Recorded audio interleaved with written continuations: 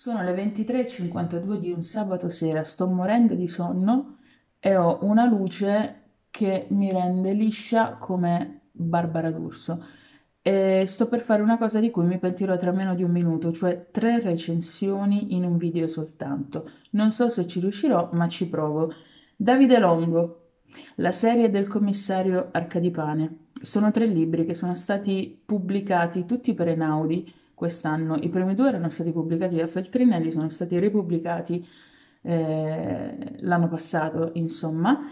E Davide Longo è un maestro di scrittura alla scuola Holden, quindi in teoria non ci sarebbe nulla da dire sul maestro di scrittura, ma io ho qualcosa da dire. E allora, brevemente, le trame dei tre libri e poi vediamo che cosa ho da dire. Primo libro, Il caso Bramard. Il caso Bramard. Questa è la copertina per Einaudi. Eh, in breve, in due parole, Corso Bramardi, il commissario più giovane d'Italia, eh, a un certo punto indaga su un serial killer che viene chiamato Autunnale. Autunnale rapisce donne e le ammazza, a un certo punto rapisce anche sua moglie e sua figlia di pochi mesi, ammazza anche loro. Corso Bramard si ritira dalla polizia, ehm, passa le sue giornate scalando montagne senza protezione, sperando di cadere, di farsi molto male e probabilmente spera anche di morire. Quello che lo tiene in vita in questi vent'anni dalla morte di moglie e figlia è una corrispondenza che Autunnale intrattiene con lui, gli manda delle lettere ed è una sorta di gioco psicologico ed è una sorta di ed è una fase di stallo che dura vent'anni finché a un certo punto arriva una lettera in cui Autunnale commette un errore che porta Corso a ringalluzzirsi e a decidere di riaprire l'indagine. Si farà aiutare dal commissario Arcadipane, che poi diventerà il protagonista della serie, eh, che è allievo, un allievo di Corso Bramard, nonché suo, suo successore, è da una agente fighissima, eh, stronza da morire, eh, femminista non nel senso che difende le donne, quanto nel senso che sterminerebbe tutti gli uomini. Eh, si chiama Isa Mancini. Ehm, parte questo, questo, lungo viaggio, eh, Arca di Pane non potrà non potrà seguire le indagini ufficialmente, quindi seguirà Corso e Isa nei loro guai, eh, mentre percorreranno eh, persone, luoghi eh, che, che, che, riapriranno ferite finché alla fine non arriveranno ovviamente a dei risvolti inaspettati, sorprendenti e, e, e tante altre cose belle. Secondo libro, Le bestie giovani, copertina sempre per Einaudi. Le bestie giovani, sempre Davide Longo, di cosa parla?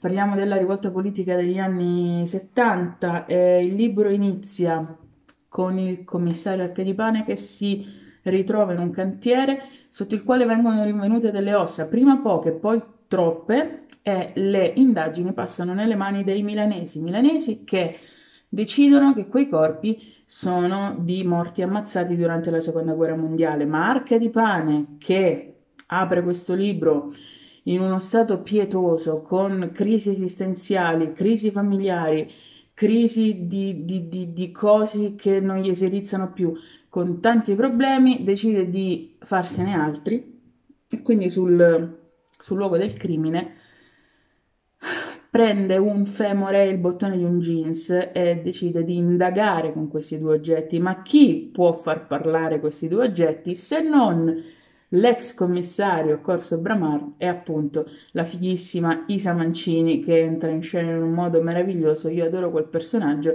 anche se poi alla fine di tutti e tre i libri sparisce in un modo che non mi piace tantissimo. Io gli avrei dato un po' più di importanza in uscita, tanta quanta gliene viene data in entrata. E nel corso del libro c'è un salto indietro negli anni 70, quando Corso Bramar era un poliziotto e uno studente che indaga su un caso di incendio, eh, lo collegano alle rivolte politiche giovanili degli anni 70, ovviamente alla fine si decide di nascondere tutto e di zittire tutte le voci che eh, giravano attorno all'episodio.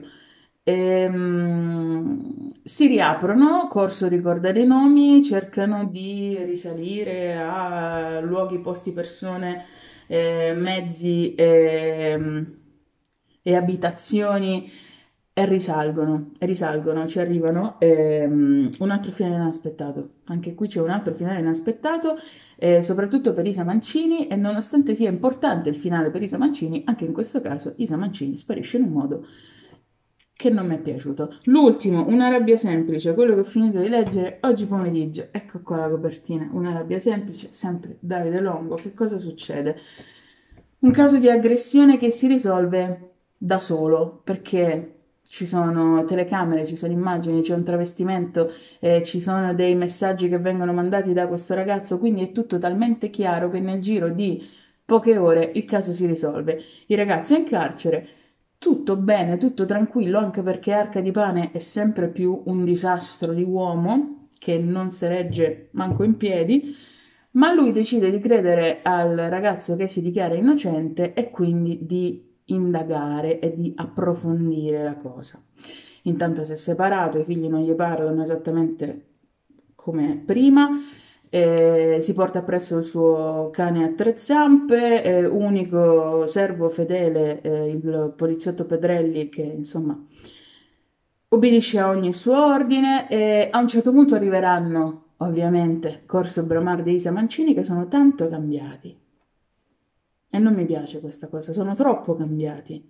Isa è sempre stronza, Bramardi è sempre eh, brillante, intuitivo, però però sono cambiati e non posso dire nient'altro. Ehm, in questo caso Davide Longo parla di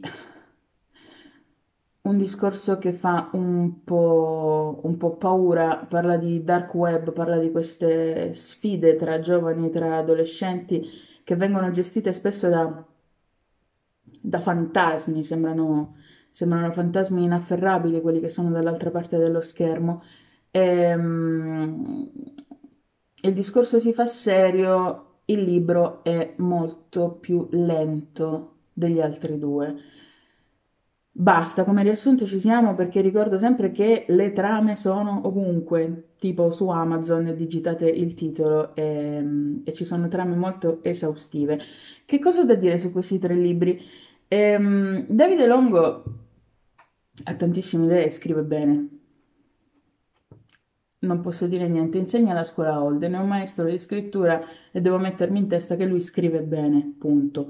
Però, però, nel primo libro io ho dovuto utilizzare il dizionario svariate volte, che può essere mia ignoranza, posso essere tanto ignorante, mediamente ignorante, posso essere un po' ignorante, eh, ma c'è stato un concentrato di parole che non servivano cioè il loro sinonimo più semplice, più quotidiano, più, più, più terra-terra, non avrebbe tolto assolutamente nulla al significato delle frasi. E mi ha infastidito molto la cosa. E credo che non sia un problema di mia ignoranza, perché se no avrei dovuto riscontrare lo stesso problema negli altri due libri o comunque nella stragrande maggioranza dei libri che leggo. Invece solitamente lascio in pace il dizionario e mi godo la lettura. Ecco, questa cosa mi ha infastidito. Poi un po' di confusione nei dialoghi. Io credo che nella metà dei dialoghi, senza esagerare, non ho capito chi stesse parlando, che come ho già detto può essere un mio problema. Però negli altri due libri l'ho capito. Qui ho fatto fatica. C'erano delle interruzioni nei dialoghi. Davide Longo scrive dei dialoghi molto lunghi, che mi piacciono in realtà, però alcune volte ci inseriva delle entrate del narratore, su cui adesso parleremo tantissimo, delle entrate del narratore, poi riprendeva a parlare e non si capiva assolutamente chi stesse riprendendo a parlare. Poi ti rindirizzava e ti riportava sulla retta via, però, però mi ha distratto. Finale aperto, finale aperto, ma non di quei finali aperti che ti dicono compra il secondo libro, attendilo con ansia, no, finale aperto nel senso che a me i finali scritti così non mi piacciono e sarà un mio limite anche questo perché forse non li capisco, però io non ho capito nessuno dei tre finali di questi tre libri e quindi ehm, non mi sono piaciuti i finali.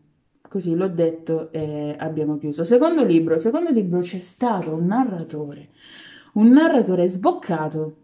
Non che io parli come il, il, il, il preside di Oxford, insomma, eh, ma è un impiccione. Cioè, è come se eh, vedessimo Pinocchio e ci fosse costantemente il grillo parlante che dice che cazzo fai? Eh, no, Pinocchio, sei uno stronzo, no, stai facendo una cazzata, no, di... no, troppo invadente, troppo, invadente e sboccato. Uno sboccato che ci stava nel personaggio, certe volte non si capiva se effettivamente stesse parlando Arcadipane, il commissario, oppure stesse parlando il narratore, oppure fosse un pensiero ad alta voce, oppure stesse parlando effettivamente Davide Longo e qual è il suo modo di esprimersi. Il narratore nel secondo libro è stato odioso e fastidioso. Per il resto, il ritmo ha tenuto tantissimo, gli sbalzi temporali sono stati gestiti in maniera magistrale, eh, mi è piaciuto tantissimo fare quel salto indietro, gli stessi personaggi che si ponevano, parlavano, si muovevano in modo diverso e non mi è pesato, ma nello stesso tempo mi sono ritrovata negli anni 70 e poi al giorno d'oggi. Il secondo è quello che mi è piaciuto di più, tranne il narratore che ha rovinato tutto. Il terzo, un narratore meraviglioso, sempre un po' sboccato, sempre un po' che si fa i cazzi degli altri, però mi ha accompagnato con semplicità in questo viaggio che come gli altri due, non ritengo un thriller. Davide Long è molto bravo a raccontare delle storie, sono ovviamente dei polizieschi, stiamo ovviamente parlando di indagini, c'è un percorso, ci sono delle indagini, ci sarà un colpevole, ci saranno da, da, da scoprire dei meccanismi per, um, per, arrivare a una soluzione. Poliziesco sì, thriller no, suspense ze- è sempre mezzanotte e, e una certa, non riesco a parlare. Suspense zero, colpi di scena pochi.